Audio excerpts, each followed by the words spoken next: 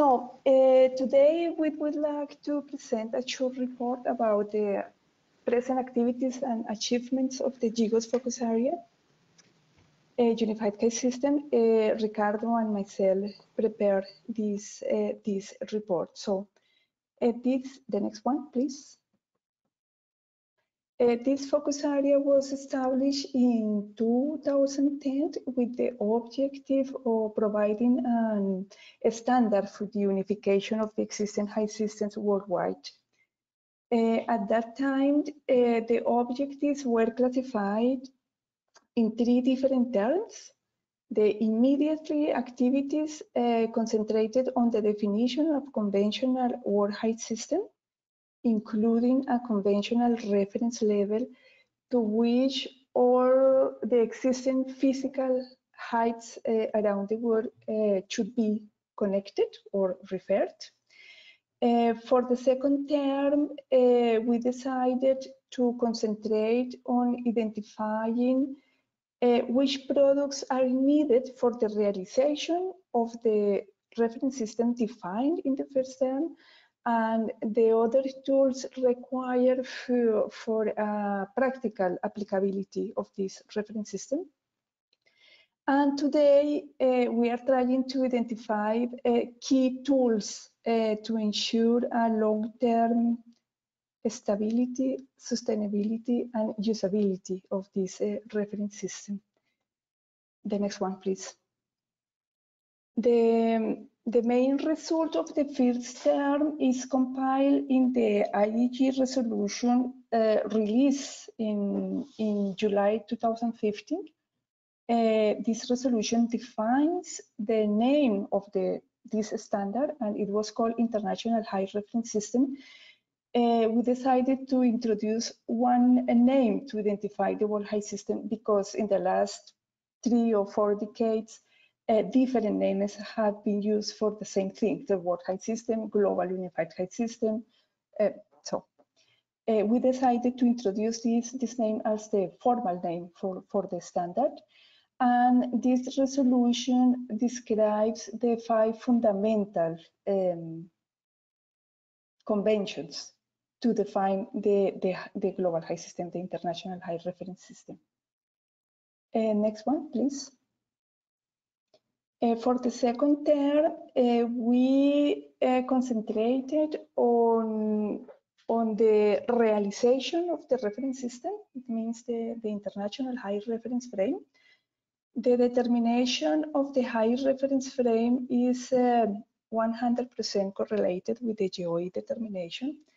So in these four years, we try to compare, evaluate, or calibrate different methods applied today for the geoid computation. And based on these results, and these results, we, we could compile an extensive guideline for the realization of the height reference system. This guideline, this guideline is needed because um, a precise geoid model requires not only um, a global gravity model in terms of spherical harmonics, but also terrestrial gravimetry, uh, terrestrial or aerial gravimetry.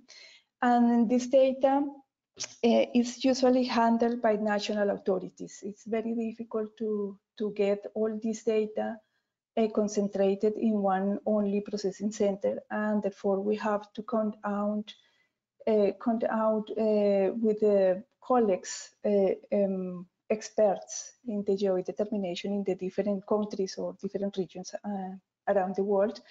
And what we try to do is, is to give some guidelines for the standardization um, in the computation of the geoid. Um, having in mind that uh, the coordinates for the international height reference frame should or have to be computed using the same methodologies applied for the geoid computation. Um, during the, four, the first four years and the second four years, um, we try to write down all our experience and results, and we put a special care to publish uh, these results in open access uh, journals or, or, open access articles uh, in order to ensure the accessibility to these uh, readings, um, especially in developing countries, and uh, overall, who is interested to, to read these, these results. The next one, please. could you please, again, three times? okay, thank you. Uh, in this in these four years, uh, we separated uh, our activities in something called research or developing activities and computation activities. In the research of developing activities, we are trying to supply solutions to the theoretical problems we identify in the calibration of the of the geoid computation methods. And these activities are mainly uh, led by working or the study groups of um, uh, IAG commissions of the Intercommission Committee on Theory. And the computation activities, it means uh, we are trying to, to work uh, with uh, everything what we now have.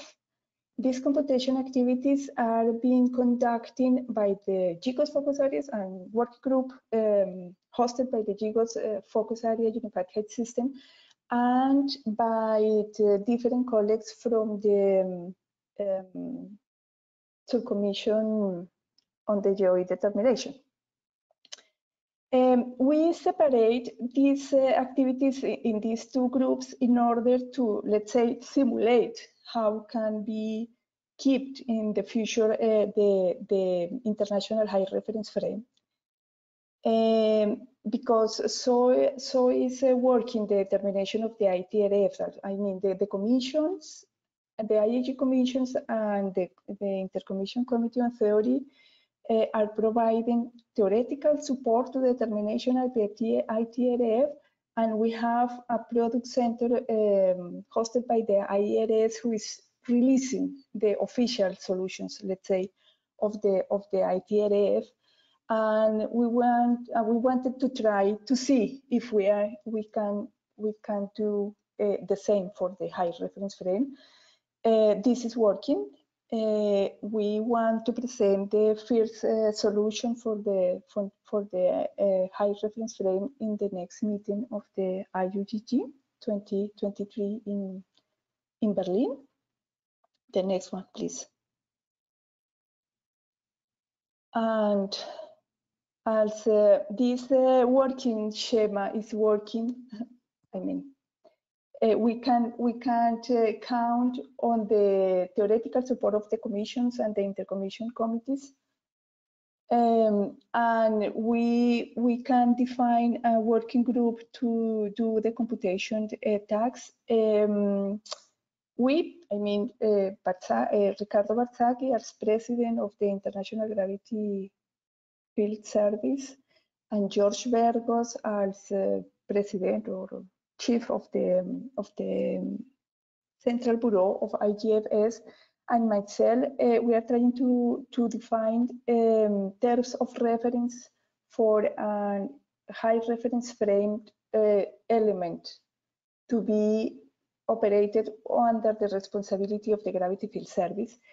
Um, we have the idea to call this element uh, EIGRF product center and it should uh, take care of the maintenance and availability of, of the reference frame in a long-term basis. So this product center uh, should be release the official solutions for the height reference frame.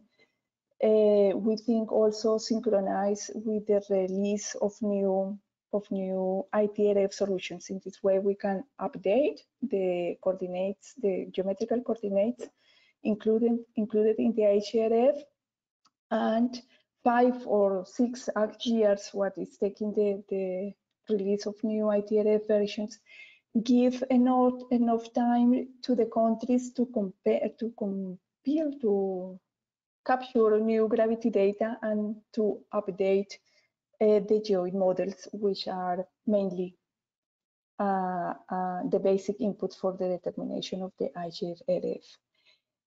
our plan, so Ricardo, George and Laura, our plan is that we can uh, uh, in the next IUGG General Assembly that the objectives of the GGOS focus area are achieved and that this uh, focus area can be solved and the maintenance of the height reference frame should be a regular task of the of the IGFS.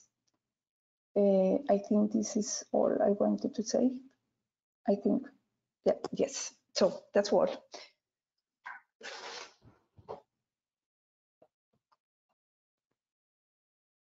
Thank you. Uh, thank you very much, uh, for reporting the uh, excellent progress. Uh, it's very impressive. The IH, uh, the focus area moved to the operational IHRF product center. Uh, any questions, comments?